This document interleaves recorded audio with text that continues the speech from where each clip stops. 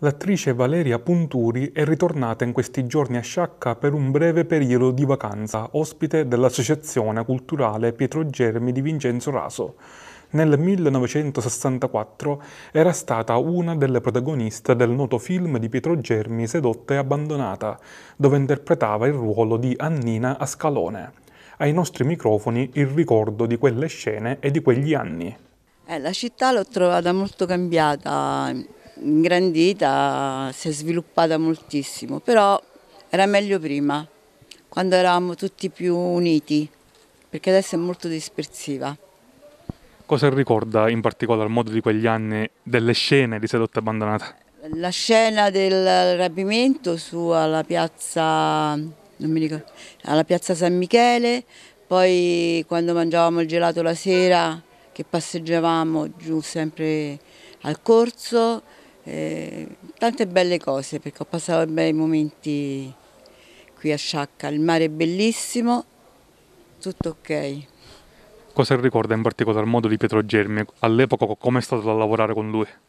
Con Pietro Germi è stato benissimo, poi io ho fatto anche Serafino con lui, con Celentano, quindi siamo stati in Abruzzo, qui siamo stati in Sicilia, è una persona molto cordiale, quando un po' andava su di giri era un po' dura la cosa, però era comprensibile di tutto con noi. C'è qualche retroscena del dietro le quinte, qualche ricordo particolare che ci vuole rivelare?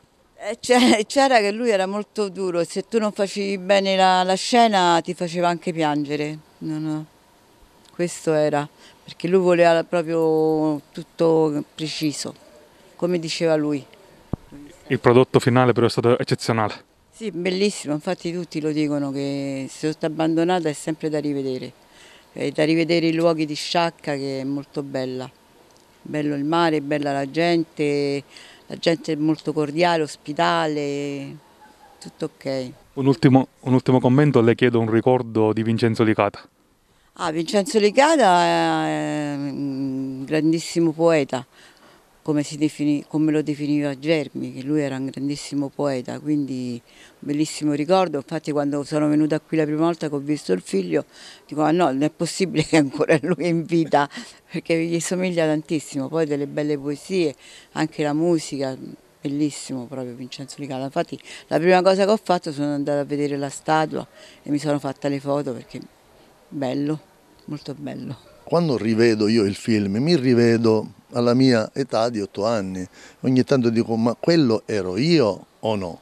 Perché eh, rivederti ora, adesso da grande, da maturo, eh, ricordando una cosa, come ha detto Valeria, era uno molto eh, diciamo, scrupoloso, Pietro Germi, e se tu non facevi quello che diceva lui ti, ti cazziava materialmente.